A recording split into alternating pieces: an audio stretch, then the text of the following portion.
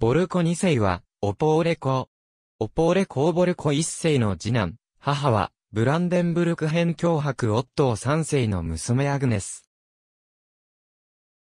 1313年に、父が死ぬと、ボルコ2世と弟のアルベルトが、共同統治者として、広告を継承した。しかし、おそらく二人とも、未成年だったためか、長兄のビエルニニエモドリン公、ボレスワフが、後見人を務めている。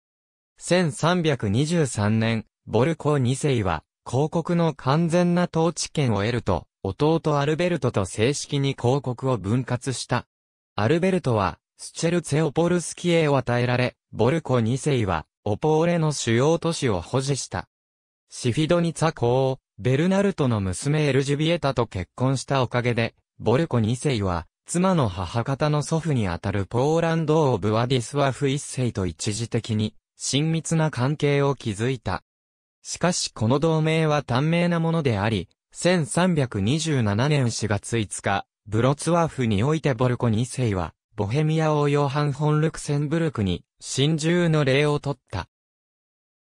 治世中、ボルコ2世は、オポーレ広告の経済的発展に努めた。公爵は村々に、ドイツ法を導入し、貿易を保護し、旅行者の安全を守るべく交通路の整備に努めた。広告の良好な経済状況を背景として、ボルコ2世は、領土の拡大に成功した。1351年には、レグニツァコーバツワフ1世から、ブイチナとクルチボルクを、ビト向こうボレスワフから、スワビエンチツ一帯を購入した。ボルコ2世は、オポーレのフランシスコ会修道院に強く帰依していた。公爵は、同修道院内に、聖安な礼拝堂を設け、この礼拝堂は、オポーレ公爵家の地下、納め体堂となった。1356年6月21日に亡くなり、聖安な礼拝堂に埋葬された。